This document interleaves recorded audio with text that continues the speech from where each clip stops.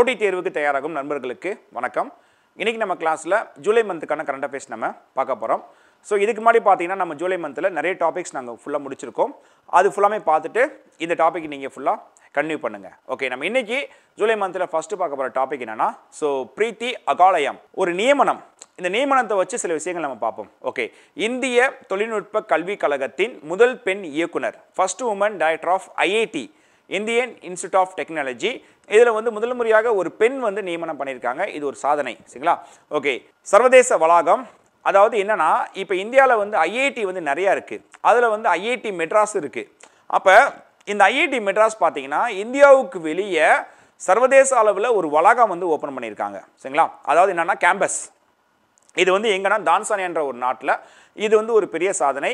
So அதனால் இந்த தான்சானியாவில் உருவாக்கப்பட்ட இந்த ஐஐடிக்கு தான் ஸோ இந்த பிரீத்தி அகாலயம் இவங்கள நியமனம் பண்ணியிருக்காங்க. ஓகே ஸோ பாயிண்டாக பாருங்கள் ஐஐடி மெட்ராஸ் தனது முதல் சர்வதேச வளாகத்தை தான்சானியா நாட்டில் அமைக்க உள்ளது. சரிங்களா? அப்போ ஐஐடி மெட்ராஸ். இந்தியாவில் ஐஐடி நிறையா இருக்குது அதில் யார் பண்ண போகிறாங்கன்னா மெட்ராஸ். இதன் மூலம் சர்வதேச வளாகம் ஒன்றை தொடங்கும் முதல் ஐஐடி என்ற பெருமையை பெற்றுள்ளது. எதுனா? மெட்ராஸ் ஐஐடி சரிங்களா? ரொம்ப முக்கியம். ஸோ நியமனம் பார்த்து வச்சுக்கோங்க. இதுக்கப்புறம் இந்தியாவுக்கு வெளியே உருவாக்க போகிறது யாருன்னா மெட்ராஸ் ஐஐடி அதுக்கப்புறம் பார்த்தீங்கன்னா எங்கன்னு கேட்டாங்கன்னா Tanzania. Okay next one NATO summit ரெண்டாயிரத்தி இருபத்தி மூணு.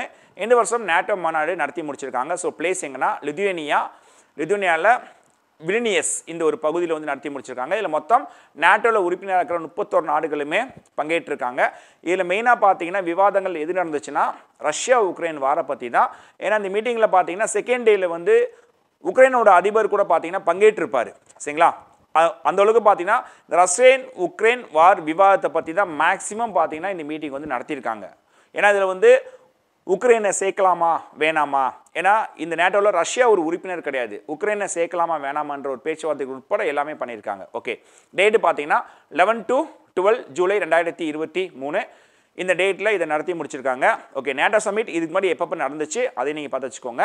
ஸோ இதுக்கப்புறம் நடக்க போகிற ரெண்டாயிரத்தி இருபத்தி நாலு அமெரிக்காவில் வாஷிங்டன் டிசி ரெண்டாயிரத்தி இருபத்தஞ்சு நெதர்லாந்து இன்னும் பிளேஸ் இன்னும் உங்கள் கன்ஃபார்ம் பண்ணல. நேட்டோட first summit nineteen fifty seven ஃப்ரான்ஸில் பாரிஸ். ஓகே நேட்டோ பற்றி தெரிஞ்சுக்கோங்க. இதோட full form North Atlantic treaty organisation NATO அமைப்பு உருவானது four April nineteen forty nine head office பெல்ஜியத்தில் Brussels. இப்போ வரைக்கும் முப்பத்தொரு நாடுகள் உறுப்பினராக இருக்காங்க. நேட்டோவில் முப்பதாக கடைசியாக சேர்ந்த நாடு வந்து ஃபின்லாந்து. நேட்டோவில் முப்பத்தி ரெண்டாக சேர போகிற நாடு வந்து ஸ்வீடன். இப்போ வரைக்கும் சொல்லிட்டு இருக்காங்க. முப்பதாம் நாடு யாருன்னு கேட்டாங்கன்னா ஸோ நார்த் மாசிடோனியா இருபத்தி ஒன்பது யாருன்னு கேட்டாங்கன்னா ஸோ மாண்டி நிகிரோ சரிங்களா? அப்போ இருபத்தொம்பது மாண்டி நிகிரோ முப்பது நார்த் மாசிடோனியா தேர்ட்டி ஃபர்ஸ்ட் பார்த்தீங்கன்னா ஃபின்லாந்து இந்த மூணு தான் கடைசியாக சேர்ந்தது நேட்டோவில் நேட்டோன்ற கூட்டமைப்பில் நம்ம இந்தியாவும் ஒரு உறுப்பினர் கிடையாது. சரிங்களா? ஓகே இதுக்கப்புறம் இப்போ ரஷ்யா உக்ரைன் வார் நடந்துட்டு இருக்கு. இந்த வாருக்கு முக்கிய காரணமே இந்த இந்த நேட்டோ படைகள் தான். இந்த நேட்டோவில் உக்ரைன் சேர போனாங்க.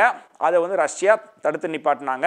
ஒருவேளை உக்ரைன் இதில் சேர்ந்துருந்தாங்கன்னா ரஷ்யாவை எதிர்த்து நேட்டோ படைகள் முப்பத்தொரு நாடுகளும் ஒன்றா சேர்ந்து வந்து ரஷ்யாவை வந்து எதிர்த்து நின்றுப்பாங்க இது வந்து பெரிய பிரச்சனையாக இருக்கும். ஆனால் அதுக்கு முன்னாடி ரஷ்யா என்ன பண்ணிட்டாங்க? போன இருபத்தி நாலு பிப்ரவரி ரெண்டாயிரத்தி இருபத்தி ரெண்டில் ஸோ உக்ரைன் மீது போர் தொடுத்திருப்பாங்க. இப்போ கிட்டத்தட்ட ஐநூறு நாட்கள் கடந்தும் இந்த வார் வந்து இப்போ வரைக்கும் நடந்துகிட்ருக்கு சரிங்களா? Okay next one Tamil Nadu issue பார்க்க போகிறோம் அதில் ஃபஸ்ட்டு பார்க்க போகிறது கலைஞர் மகளிர் உரிமை தொகை. ஸோ ரீசெண்டாக பட்ஜெட்டில் அறிவிக்கப்பட்ட ஒரு திட்டம். இது வர செப்டம்பர் 15ல செயல்படுத்த போகிறாங்க இதன் மூலமாக தமிழ்நாட்டில் இருக்கிற மகளிருக்கு அதாவது குடும்ப தலைவிகளுக்கு ருபீஸ் ஆயிரம் ரூபாய் உதவித்தொகை கொடுக்க போகிறாங்க சரிங்களா? ரொம்ப ரொம்ப முக்கியமான டாபிக் இதுலேருந்து ஒரு கொஷின்ஸ் உறுதியாக எதிர்பார்க்கலாம். இதே மாதிரி பார்த்தீங்கன்னா புதுமை பெண் ஸ்கீம் மூலமாகவும் உதவித்தொகை ஆயிரம் ரூபாய் என்ன பண்ணுறாங்க பள்ளி மாணவிகளுக்கு கொடுத்துட்டு வராங்க. முதல்வரின் திறனறி தேர்வு திட்டம் மூலமாக tenth plus one plus two படிக்கிற மாணவர்களுக்கு ஸோ ஆயிரம் ரூபாய் மாதம் உதவித்தொகை கொடுக்குறாங்க. போன ஆகஸ்ட் 15ல தமிழ்நாட்டில் தியாகிகளுக்கான ஓய்வூதியம் ஒரு ஆயிரம் ரூபாய் உயர்த்தியிருப்பாங்க. அதாவது பத்தாயிரம் வாங்கினவங்க இனிமேல் பதினோராயிரம் ரூபாய் வாங்க போகிறாங்க ஆயிரம் ரூபாய் உயர்த்திருக்காங்க சரிங்களா? இது ஆயிரம் ரூபாய் வச்சு இருக்கிற முக்கியமான ஸ்கீம்ஸ் ஓகே தெரிஞ்சுக்கோங்க. இப்போ நம்ம டாபிக் வாங்க கலைஞர் மகளிர் உரிமை தொகை. தமிழகத்தில் குடும்ப தலைவிகளுக்கு உதவித்தொகை வழங்கும் திட்டம். ஸோ எவ்வளோ உதவித்தொகைனா ருபீஸ் ஆயிரம் ரூபாய். இதை பற்றி அறிவித்தது ரெண்டாயிரத்தி இருபத்தி ஒன்று சட்டப்பேரவை தேர்தல். அதாவது தேர்தல் வாக்குறுதியில் வந்து சொல்லியிருப்பாங்க. சரிங்களா? ஓகே அதுக்கப்புறம் பட்ஜெட் ஸ்பீச்சில் இந்த வருஷம் ரெண்டாயிரத்தி இருபத்தி மூணில் இதை உறுதிப்படுத்தியிருப்பாங்க. இதுக்காக பட்ஜெட்டை ஒதுக்கியிருப்பாங்க ருபீஸ் ஏழாயிரம் கோடி. ஓகே இந்த ஸ்கீமை எப்போ ஸ்டார்ட் பண்ண போகிறாங்கன்னா செப்டம்பர் ஃபிஃப்டீன் ரெண்டாயிரத்தி இருபத்தி மூணு அண்ணா அவர்களுடைய பிறந்தநாள். இந்த நாளில் தான் ஸ்டார்ட் பண்ண போகிறாங்க ஸோ பிளேஸ் இப்போ வரைக்கும் சொல்லியிருக்காங்க காஞ்சிபுரம். ஓகேவா சரி இதுக்கு முன்னாடி வேறு என்னென்ன பண்ணாங்கன்னு சொல்கிறேன் பார்த்துக்கோங்க. இருபத்தி நாலு ஜூலை ரெண்டாயிரத்தி இருபத்தி மூணு நியாய விலைக்கடையில் ஊழியர்கள் மூலம் வீடு வீடாக விண்ணப்பங்கள் விநியோகிக்கப்பட்டன. இந்த டோக்கன் டோக்கன் வந்து ஃபுல்லாக கொடுத்துட்டு வந்தாங்க. யார் யாருக்கு? பயனாளிகளுக்கு. ஓகே அப்போ இதை வந்து நம்ம தமிழக முதலமைச்சர் எங்கே வச்சு தொடங்கி வச்சார்னா தர்மபுரி. எந்த டேட்னா இருபத்தி நாலு ஜூலை ரெண்டாயிரத்தி இருபத்தி மூணு பிளேஸ் வந்து தர்மபுரி. ரெண்டு கட்டமாக இந்த விண்ணப்பங்கள் வந்து வழங்கினாங்க. முதல் கட்டம் வந்து இருபத்தி நாலு ஜூலையில் ஆரம்பித்து ஆகஸ்ட் நாலு வரைக்கும் நடந்துச்சு. அதுக்கப்புறம் ஆகஸ்ட் அஞ்சில் ஆரம்பித்து ஆகஸ்ட் பதினாறில் பார்த்தீங்கன்னா இதை வந்து முடிச்சிருக்காங்க. ஓகே தகுதிகள். இவங்களுக்கான தகுதிகள் பயனாளிகள் யார்? ஆண்டுக்கு ரெண்டு லட்சத்துக்கு மேல் வருமானம் உள்ள குடும்ப தலைவிகளுக்கு உரிமை தொகை கிடையாது. அப்போ டூ லேக்ஸ்க்கு மேலே இருந்தால் கிடையாது. டூ லேக்ஸ்க்கு உள்ளே இருந்தால் இவங்களுக்கு இருக்குது ஐந்து ஏக்கர் நிலம் வைத்துள்ள குடும்ப தலைவிகளுக்கு கிடையாது. அப்போ அஞ்சு ஏக்கருக்கு மேலே கிடையாது. அஞ்சு ஏக்கருக்கு உள்ளே இருந்தால் இவங்களுக்கு ஆயிரம் ரூபாய் உண்டு. அதுக்கப்புறம் மகளிருக்கு இருபத்தோரு வயது நிரம்பி இருக்க வேண்டும். சரிங்களா? ஓகே. ஒரு குடும்ப அட்டைக்கு ஒருவருக்கு மட்டுமே ஒரு ஒரு குடும்பத்தில் மூன்று நான்கு பெண்கள் இருக்கலாம். ஆனால் யாருக்காவது ஒருத்தவங்களுக்கு மட்டும்தான் இது இருக்குன்னு சொல்லி சொல்லிட்டாங்க. ஓகே. நெக்ஸ்ட் ஒன் கலைஞர் நூற்றாண்டு நூலகம். ஸோ ரீசண்டாக தமிழ்நாட்டில் மதுரையில் செயல்பாட்டுக்கு வந்திருக்கும் கலைஞர் அவர்களுடைய பேரில் தமிழக முதலமைச்சர் இதை போன ஜூலை பதினஞ்சு காமராஜர் அவருடைய பிறந்த நாளில் தம் தமிழ்நாட்டில் மதுரையில் வச்சு இதை திறந்து வச்சிருப்பார். சரிங்களா? இதை வச்சு சில பாயிண்ட்ஸ் நம்ம பார்க்கலாம். தமிழகத்தின் மதுரையில் நூலகத்தை தமிழக முதல்வர் திறந்து வைத்தார். டேட்டு பார்த்தீங்கன்னா ஃபிஃப்டீன் ஜூலை ரெண்டாயிரத்தி இருபத்தி மூணு. பட்ஜெட் இரநூத்தி பதினஞ்சு கோடி. அனௌன்ஸ்மெண்ட் எப்போ அனௌன்ஸ்மெண்ட் வெளியிட்டாங்கன்னா ரெண்டாயிரத்தி இருபத்தி ஒன்று ஜூன் மூணு. இதுக்கப்புறம் அடிக்கல் நாட்டப்பட்டது ரெண்டாயிரத்தி இருபத்தி ரெண்டு ஜான்வரி லெவன் அதுக்கப்புறம் கவர்மெண்ட் அஃபீஷியலாக ஆர்டர் வந்து வெளியிட்டது. அதாவது அரசாணைன்னு சொல்லுவாங்க. த்ரீ ஜூலை ரெண்டாயிரத்தி இருபத்தி ஒன்று சரிங்களா? இந்த டேட் எல்லாமே ரொம்ப ரொம்ப முக்கியமானது. ஓகே ஸோ இப்போ கலைஞர் நூற்றாண்டு நூலகம் தமிழ்நாட்டில் மதுரையில் செயல்பாட்டுக்கு வந்துருச்சு. சரிங்களா? ஓகே இதை வச்சு நமக்கு கொஷின் கேட்பாங்கன்னா அண்ணா நூற்றாண்டு நூலகம். இது வந்து கலைஞர் அவர்கள் என்ன பண்ணியிருப்பார் திறந்து வச்சிருப்பார். தமிழ்நாட்டில் சென்னையில் கோட்டூர்புரம். சரிங்களா? இது எப்போ செயல்பாட்டுக்கு வந்துச்சுன்னா fifteen September two thousand ten okay இதை படித்து வச்சுக்கோங்க. இதே மாதிரி உலகளவில் ஃபேமஸான லைப்ரரி இந்தியாவில் ஃபேமஸான லைப்ரரி என்னென்ன இருக்கோ இந்த டேட்டாவும் நீங்கள் படிங்க. ஏதாவது ஒரு கொஷின் உங்களுக்கு வர வாய்ப்பு இருக்குது நெக்ஸ்ட் ஒன் புவிசார் குறியீடு. தமிழகத்தில் மேலும் மூன்று பொருட்களுக்கு புவிசார் குறியீடு வழங்கப்பட்டுள்ளது. இதுக்கு முன்னாடி பார்த்தீங்கன்னா ஒரு பதினோரு திங்ஸுக்கு வந்து நம்ம தமிழ்நாட்டில் கொடுத்துருப்பாங்க. ஸோ இது கொடுத்ததுக்கப்புறம் தமிழ்நாட்டில் வந்து ஒரு ஐம்பத்தஞ்சு பொருட்களுக்கு வந்து புவிசார் குறியீடு கொடுத்துருப்பாங்க.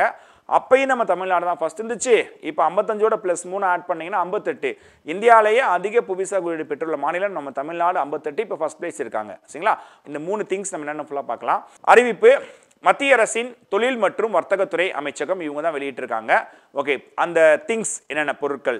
ஸோ நாமக்கட்டி திருவண்ணாமலை செடிபுட்டா சேலை திருநெல்வேலி மட்டி வாழைப்பழம் கன்னியாகுமரி. ஓகே அடுத்தது தமிழகத்தில் இதுவரை மொத்தம் ஐம்பத்தெட்டு பொருட்களுக்கு புவிசார் குறியீடு வழங்கப்பட்டுள்ளது. ஸோ இப்போ இருக்கிற தமிழக முதலமைச்சராக எம் கே ஸ்டாலின் அவர்கள் வந்ததுக்கு அப்புறம் பதினேழு வந்து கொடுத்துருக்காங்க. அப்போ தமிழ்நாடு வந்து ஃபர்ஸ்ட் பிளேஸ் ஐம்பத்தி எட்டு இதுக்கு வந்து செகண்ட் பிளேஸ் யூபி ஐம்பது தேர்டு பிளேஸ் கர்நாடகா நாற்பத்தி எட்டு. ஓகே புவிசார் குறியீடுனா என்ன? ஒரு பொருள் புவிசார் குறியீடை பெறுவதன் மூலம் அதன் தனித்துவம் அதிகாரப்பூர்வமாக அங்கீகரிக்கப்படுகிறது. ஒரு குறிப்பிட்ட ஏரியாவில் ஒன்று ஃபேமஸாக இருக்கும். அது வந்து பார்த்தீங்கன்னா கைவினை பொருளாக இருக்கலாம் விவசாய பொருளாக இருக்கலாம் உணவு தானியமாக இருக்கலாம். எதுவாக இருந்தாலும் சரி சரிங்களா? இப்போ கைவினை பொருள்லாம் பார்த்தீங்கன்னா தஞ்சாவூர் தஞ்சாவூர் பொம்மை எடுத்துக்கலாம். உணவு தானியம் உணவு வந்து எடுத்துக்கிட்டிங்கன்னா இது வந்து நம்ம என்ன சொல்லலாம்னா நம்ம சாப்பிட்ற ஐட்டத்தில் பார்த்தீங்கன்னா இப்போ உதாரணத்துக்கு கோவில்பட்டி கடல மிட்டாய் எடுத்துக்கலாம். கோவில்பட்டி கடல மிட்டாய் பழனி பஞ்சாமிர்தம் இதுக்கு கொடுத்துருக்காங்க? சரிங்களா? இதுக்கப்புறம் பார்த்தீங்கன்னா விவசாயம்னு பார்த்தீங்கன்னா ஈரோடு மஞ்சள் எடுத்துக்கலாம். இதுக்கெல்லாம் பார்த்தீங்கன்னா ஜிஐ டேக் வந்து கொடுத்துருக்காங்க. அப்போ ஈரோடு மஞ்சள். மஞ்சளுக்கு பெயர் பெற்றது தமிழ்நாட்டில் ஈரோடு. அப்போ இந்த ஈரோடு மஞ்சள் வந்து ஃபேமஸ் சரிங்களா? அப்போ இந்த மாதிரி ஃபேமஸாக இருக்கிற ஒரு திங்ஸுக்கு கொடுக்குறது தான் இந்த ஜிஐ டேக் நம்ம கிளாஸில் ஏற்கனவே ஜிஐ டேக் பற்றி நம்ம நிறைய பார்த்துருக்கோம். இப்போ நான் குருஃபோன் மெயின்ஸுக்கே டீட்டெயிலாக இதை பற்றி நான் ஃபுல்லாக நான் சொல்லியிருப்பேன். சரிங்களா? டீட்டெயிலாக ஃபுல்லாக வேணும்னா குருஃபோன் மெயின்ஸ்க்கு எடுத்தது இருக்கும். அதை நீங்கள் பார்த்து வச்சுக்கோங்க. சரிங்களா? ஓகே இதன் மூலம் இந்தியா முழுவதும் அந்த பொருள் கவனம் பெற முடியும். ஏன்னா இந்த பொருளுக்கு ஜிஐ டாக் அங்கீகாரம் கொடுத்துருக்காங்க. அதனால் என்ன பண்ணுவாங்க? இதை வந்து வாங்க ஆரம்பிப்பாங்க. ஓகே. இந்தியாவில் இந்த ஆக்ட்டு எப்போ நடைமுறைப்படுத்துகிறாங்க இது ஃபுல்லாமே பார்க்கலாம். இது எல்லாமே ஜிகே ஜிகேல உங்களுக்கு கொஸ்டினாக வர வாய்ப்பு ரொம்ப அதிகம். புவிசார் குறியீடு ஆயிரத்தி தொள்ளாயிரத்தி தொண்ணூற்றி ஒன்பதில் இந்தியாவில் சட்டம் நிறைவேற்றம் பண்ணியிருக்காங்க. இதுக்கப்புறம் விதிமுறைகள் வந்து ரெண்டாயிரத்தி ரெண்டில் உருவாக்கியிருக்காங்க. அதுக்கப்புறம் இதை நடைமுறைப்படுத்தினது ரெண்டாயிரத்தி மூணு செப்டம்பர் பதினஞ்சில் நடைமுறைப்படுத்தியிருக்காங்க. இந்தியாவில் ஃபர்ஸ்ட் ஃபர்ஸ்ட் எந்த திங்ஸுக்கு ஜிஏ டேக் வந்து கொடுத்தாங்கன்னா ஸோ டார்ஜிலிங் தேயிலை ரெண்டாயிரத்தி நாலில் கொடுத்துருப்பாங்க. இதுக்கப்புறம் தமிழ்நாட்டில் ஃபர்ஸ்ட் பேப்ரிக்ஸ் சேலத்தில் காணப்படுது ரெண்டாயிரத்தி அஞ்சில் வந்து கொடுத்துருப்பாங்க. ஸோ ஜிஏன்றது geographical indication GI tag சரிங்களா? இதுதான் புவிசார் குறியீடு.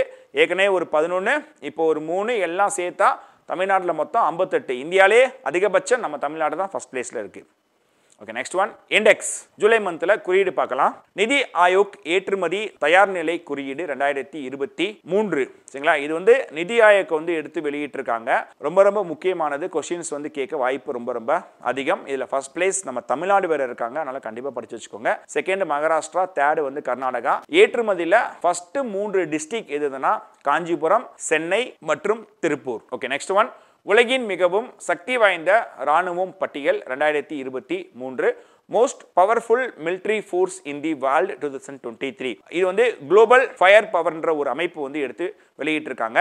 இதில் ஃபர்ஸ்ட் பிளேஸ் பார்த்தீங்கன்னா அமெரிக்கா செகண்ட் பிளேஸ் வந்து ரஷ்யா தேர்டு வந்து சைனா ஃபோர்த்து வந்து நம்ம இந்தியா வந்து இருக்காங்க. இதில் வந்து நம்ம இந்தியாவோட நிலை தான் ஃபர்ஸ்ட் நமக்கு முக்கியம். இந்தியாவோட பிளேஸ் வந்து ஃபோர்த் நெக்ஸ்ட் ஒன் ஆற்றல் மாற்ற குறியீடு ரெண்டாயிரத்தி இருபத்தி மூன்று. ஸோ இதை யார் எடுத்து வெளியிட்டிருக்காங்கன்னா வேர்ல்டு எக்கனாமிக் ஃபோம் உலக பொருளாதார மன்றம் இவங்க எடுத்து வெளியிட்டிருக்காங்க. இதில் ஃபர்ஸ்ட் பிளேஸில் ஸ்வீடன் செகண்ட் பிளேஸில் டென்மார்க் தேர்டு பிளேஸில் நார்வே அறுபத்தி ஏழாவது பிளேஸ் நம்ம இந்தியா. அப்போ கொஸ்டின் எப்படி கேட்பாங்கன்னா ரெண்டாயிரத்தி இருபத்தி மூன்று ஆற்றல் மாற்ற குறியீடு பட்டியலில் இந்தியாவோட நிலை என்னன்னு சொல்லி கேட்பாங்க. இந்தியாவோட ஸ்டேஜ் வந்து சிக்ஸ்டி செவன் நெக்ஸ்ட் ஒன் ரொம்ப முக்கியமானது உலக அமைதி குறியீடு குளோபல் பீஸ் இண்டெக்ஸ் ரெண்டாயிரத்தி இருபத்தி மூணு. யார் இதை எடுத்து வெளியிட்டிருக்காங்கன்னா பொருளாதாரம் மற்றும் அமைதி நிறுவனம் institute of economics and peace okay இதில் ஃபர்ஸ்ட் பிளேஸ் அயர்லாந்து தொடர்ந்து பதினஞ்சாவது முறையாக இவங்க ஃபர்ஸ்ட் பிளேஸில் இருக்காங்க. இது ஒரு பெரிய சாதனை சரிங்களா? செகண்ட் பிளேஸ் ஏமன் நூற்றி இருபத்தாறாவது பிளேஸில் வந்து இந்தியா. அப்போ மொத்தம் இதில் நூற்றி அறுபத்தி மூன்று நாடுகள் இருக்காங்க. நம்ம இந்தியா வந்து one twenty six last place யாருன்னா ஆப்கானிஸ்தான். ஆப்கானிஸ்தான் பார்த்தீங்கன்னா தொடர்ந்து அஞ்சாவது முறையாக இவங்க தான் கடைசி இருக்காங்க. ஏன்னா இங்கே வந்து அமைதியான சூழ்நிலைகள் இல்லை. இப்போ என்ன ரீசன்னா போன ரெண்டாயிரத்தி இருபத்தி ஒன்றில் என்ன பண்ணிட்டாங்க? தாலிபான் வந்து ஆட்சியை வந்து பிடிச்சிருப்பாங்க இந்த ஆப்கான் நாட்டில். சரிங்களா? அப்போலேருந்து இப்போ வரைக்கும் பார்த்தீங்கன்னா தாலிபான் ஆட்சி தான் இங்கே வந்து மெயினாக நடக்குது. இதெல்லாம் வச்சு என்ன பண்ணிட்டாங்க? இதை வந்து கடைசி லிஸ்ட்டில் வந்து ஆட் பண்ணியிருக்காங்க. ஓகே ஸோ அதனால் ரொம்ப முக்கியமானது. அப்போ உலக அமைதி குறியீடு ரெண்டாயிரத்தி இருபத்தி மூணு பட்டியலில் இந்தியாவோட நிலை என்ன? சப்போஸ் கேட்டாங்கன்னா நூற்றி இருபத்தி ஆறாவது பிளேஸில் நம்ம இந்தியா வந்து இருக்கும். ஓகே நெக்ஸ்ட் ஒன் ஹென்லி கடவுச்சீட்டு குறியீடு. ஸோ ரெண்டாயிரத்தி இருபத்தி மூணு. அதாவது ஒரு பாஸ்போர்ட் இண்டெக்ஸ் ஓகே இந்த அப்டேட்டில் first place Singapore second place மூன்று நாடுகள் இருக்காங்க. ஜெர்மனி இத்தாலி மற்றும் ஸ்பெயின் தேர்டு பிளேஸ் ஜப்பான். இதில் பொதுவாக யார் ஃபஸ்ட்டு இருப்பாங்கன்னா ஜப்பான் தான் இருப்பாங்க.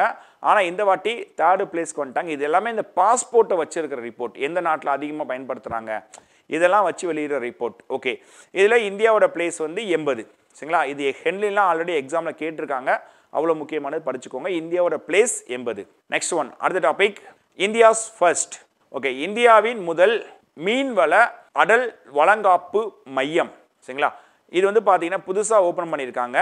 ஸோ கேயூஎஃப்ஓஎஸ் அதாவது Kerala university of fisheries and ocean studies அப்போ இந்தியாவில் கேரளாவில் இது கொண்டு வந்திருக்காங்க. மீன்வள அடல் வளங்காப்பு மையம். ஸோ கேரளாவில் யார் யூஸ் பண்ணியிருக்காங்கன்னா Kerala university okay next one இந்தியாவின் முதல் ஆளில்லா விமான காவல் பிரிவு. அதாவது India's first police drone unit இது நம்ம தமிழ்நாட்டில் சென்னையில் தான் கொண்டு வந்திருப்பாங்க. ஸோ இந்த ட்ரோன் வந்து யூஸ் பண்ணுறாங்களே இதை வச்சு. நெக்ஸ்ட் ஒன் இந்தியாவின் முதல் கஞ்சா மருந்து திட்டம்.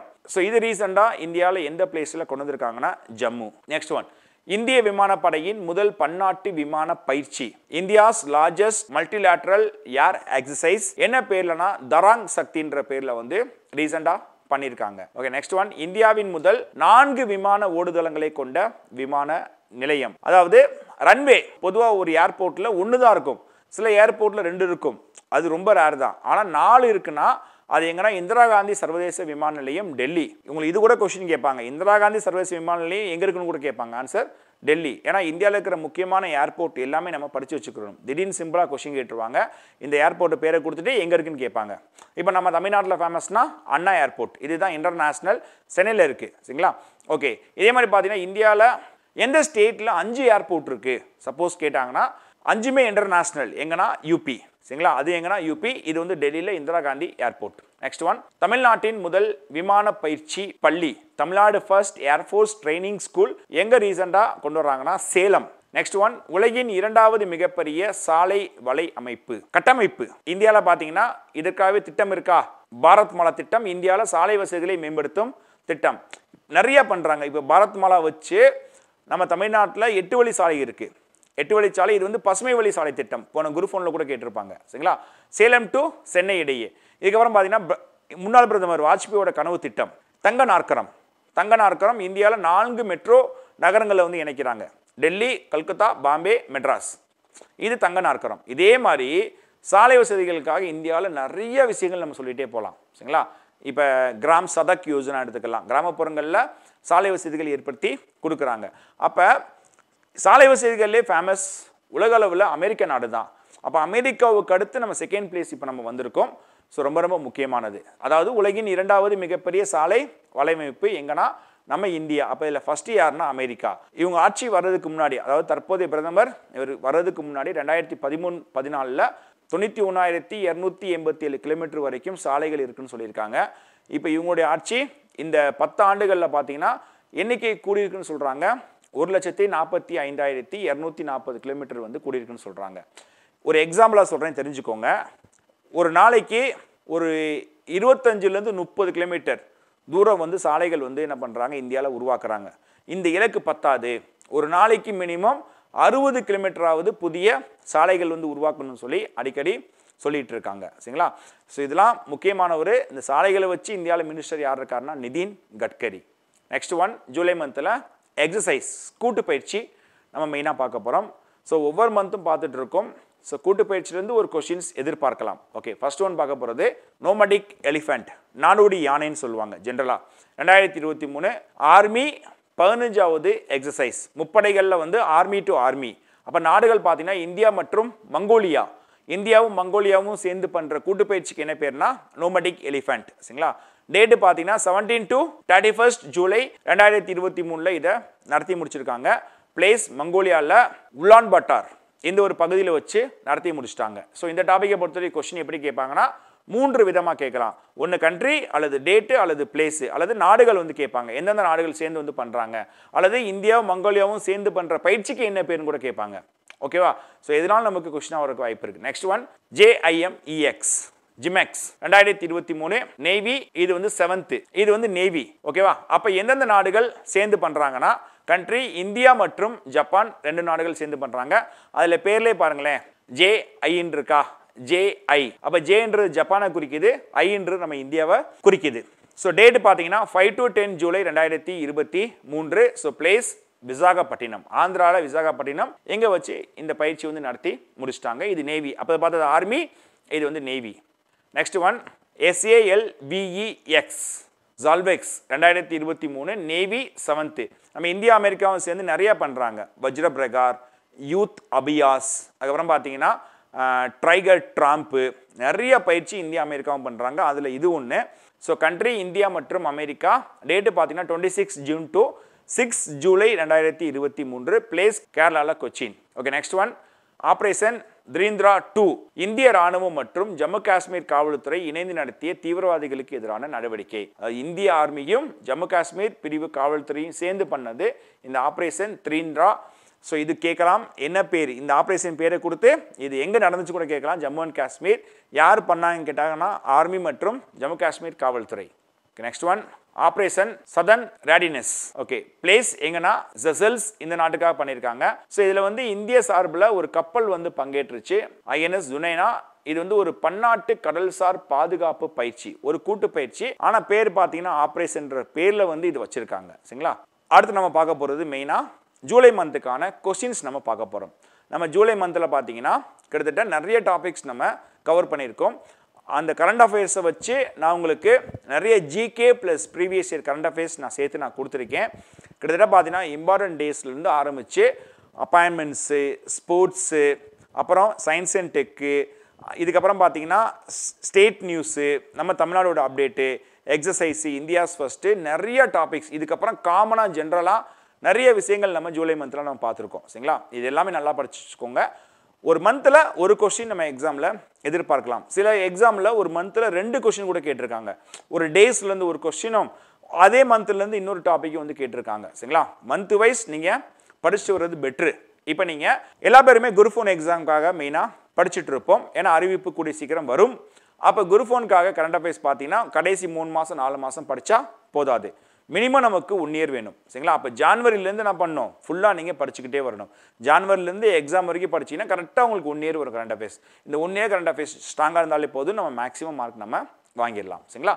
ஓகே இப்போ நம்ம ஜூலை மந்த்துக்கான கொஷின்ஸ் நம்ம டிஸ்கஸ் பண்ணுவோம். ஓகே இந்தியாவின் எண்பத்தி மூணாவது செஸ் கிராண்ட் மாஸ்டர் யார்? So eighty third chess grand master யாருன்னு கேட்டிருக்காங்க ஆப்ஷன் பாருங்க. விக்னேஷ் என் ஆர் பிரணீத் ஆதித்யா சமந்த் அர்ஜுன் கல்யாண் இதற்கான ஆன்சர் பார்த்தீங்கன்னா ஆன்சர் ஆதித்யா சமந்த் இவர் தான் இந்தியாவோட எண்பத்தி மூணாவது செஸ் கிராண்ட் மாஸ்டர் இந்தியாவோட number one chess grand master யாருன்னு கேட்டாங்கன்னா விஸ்வநாதன் ஆனந்த். இந்தியாவோட ஃபர்ஸ்ட் உமன் கிராண்ட் மாஸ்டர் யாருன்னு கேட்டாங்கன்னா விஜய லட்சுமி சரிங்களா? ஓகே நம்ம ஏற்கனவே கிளாஸில் பார்த்துருக்கோம் டீட்டெயிலாகவே சரிங்களா? நெக்ஸ்ட் ஒன் பொருந்தாத இணையை கண்டறிக. ஜிவ்தாஸ் மீனா தமிழகத்தின் புதிய தலைமைச் செயலாளர். ஓகே இது ரைட்டு துஷார் மேத்தா இந்தியாவின் புதிய அட்டார்னி ஜெனரல் துஷார் மேத்தான்றவங்க பார்த்தீங்கன்னா நம்ம நியமனத்தில் பார்த்துருப்போம் இவங்க இந்தியாவோட சாலிசிட்டர் ஜெனரல் இந்த பொறுப்புக்கு தான் வந்திருக்காங்க. இந்தியாவோட அட்டார்னி ஜெனரல் கிடையாது. ஏன்னா இந்த பொறுப்பில் வந்து வெங்கடரமணி வந்து இருக்காங்க. சரிங்களா? அப்போ இது வந்து தவறு. ஸோ பி ஆன்சர் சரிங்களா? ஓகே இதே மாதிரி மிச்சத்தையும் பார்த்துருங்க. ஜியோமோ குமார் சிங் தேசிய பசுமை தீர்ப்பாயத்தின் தற்காலிக தலைவர் அந்த நேஷனல் கிரீன் ட்ரைபுனல் இருக்குல்ல அதோடைய தற்காலிக தலைவராக இவர் இருக்கார். லாஸ்ட்டாக சஞ்சய் குமார் மிஸ்ரா இடி என்ஃபோர்ஸ்மெண்ட் டைரக்டரேட் அமலாக்கத்துறையோட இயக்குனராக இவங்க இருக்காங்க. அப்போ இதில் எது வந்து தவறாக இருக்குன்னு நான் கேட்டிருக்கேன். ஸோ அப்போ தவறு என்னென்னா பி ஆன்சர் துஷார் மேத்தா இந்தியாவோட புதிய அட்டார்னி ஜெனரல் ஸோ இவர் என்ன போஸ்ட்னா சாலிசிட்டர் தமிழில் வந்து சொலிசிட்டர் ஜெனரல்னு சொல்லி பொதுவாக வந்து அழைப்பாங்க.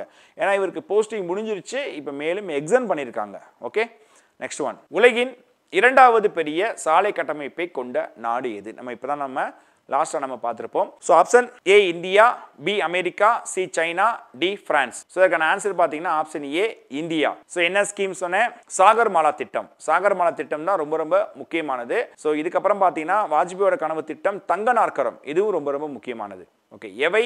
சரியானவை. ஸோ கூட்டு பயிற்சி நாடோடி யானை இந்தியா மற்றும் மங்கோலியா. ஜிமிக்ஸ் இந்தியா மற்றும் பிரான்ஸ் த்ரீ பார்த்தீங்கன்னா ஜல்பைக்ஸ் இந்தியா மற்றும் அமெரிக்கா. இதில் எது சரின்னு கேட்டிருக்கேன் உங்களுக்கே தெரியும். ஒன்றும் மூணும் கரெக்டாக இருக்கு. ரெண்டு ஜிமெக்ஸ் நம்ம இன்னைக்கு தான் கிளாஸில் பார்த்துருப்போம். ஜேன்றது ஜப்பானை குறிக்கும். ஆனால் நான் ஃப்ரான்ஸ் வந்து கொடுத்துருக்கேன்.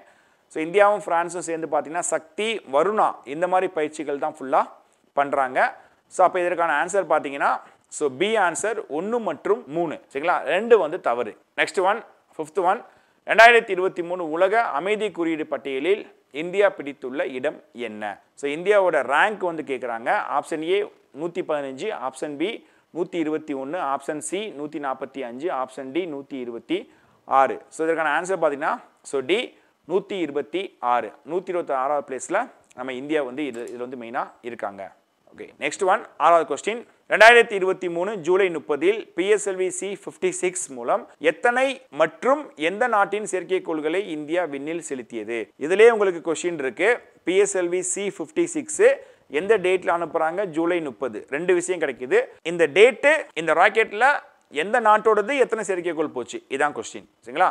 ஓகே இதுக்கான ஆன்சர் பாருங்க. ஆப்ஷன் ஏ ஏழு மலேசியா. ஆப்ஷன் பி ஒன்பது பிரிட்டன். ஆப்ஷன் சி ஏழு சிங்கப்பூர். ஆப்ஷன் டி பத்து சிங்கப்பூர். இதுக்கான ஆன்சர் மொத்தம் ஏழு போச்சு.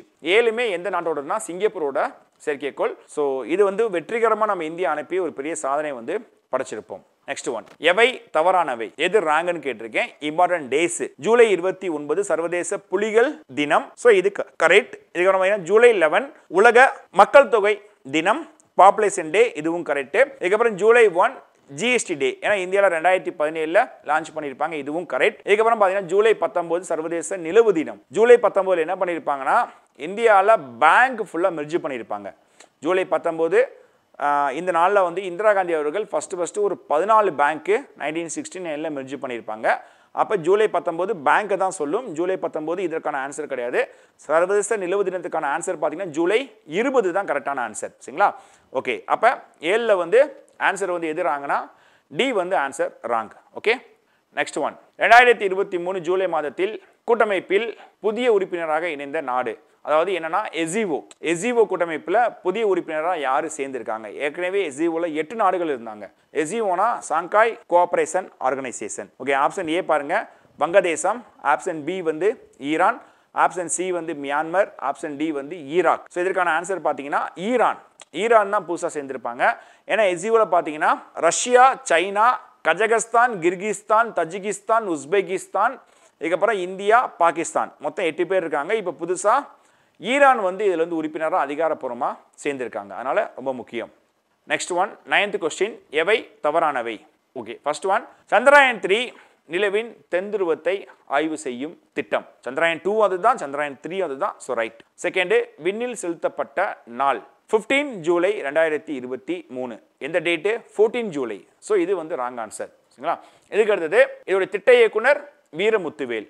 ஏன்னா எல்லா ஸ்கீமிலுமே தமிழர்களுடைய பங்கு தான் முக்கியமானது. சந்திராயன் ஒன்றில் மயில்சாமி அண்ணாதுரை சந்திராயன் டூவில் வனிதா முத்தையா சந்திராயன் த்ரீல வீரமுத்துவேல் இதுக்கு அடுத்து பார்த்தீங்கன்னா ஸோ செவ்வாய் கிரகத்தை ஆய்வு பண்ணது மங்கள்யான். இதோட இயக்குனர் கூட பார்த்தீங்கன்னா திட்ட இயக்குனர் சுப்பையா அருணன். எல்லா பேருமே தமிழர்கள் தான். சரிங்களா? ஓகே அடுத்து ஃபோர்த் ஒன் இதனுடன் லேண்டர் ரோவர் இணைத்து அனுப்பப்பட்டது. சரிங்களா? ரெண்டுமே சேர்த்து என்ன பண்ணியிருக்காங்க? அனுப்பியிருக்காங்க.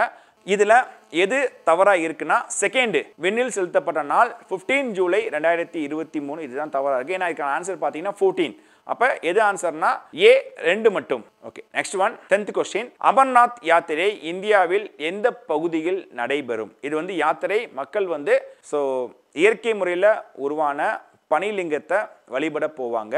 Option A Uttarakhand. Option B Arunachal Pradesh. Option C Punjab. Option D Jammu and Kashmir. இதற்கான answer option D Jammu and Kashmir. So இதற்கு வந்து பாதுகாப்புக்கு ராணுவமே வருவாங்கன்னு சொல்லியிருக்கேன். ஸோ என்ன பேர் சொன்னேன்? ஆப்ரேஷன் சிவா. ஆப்ரேஷன் சிவா வந்து பண்ணியிருப்பாங்க. சரிங்களா?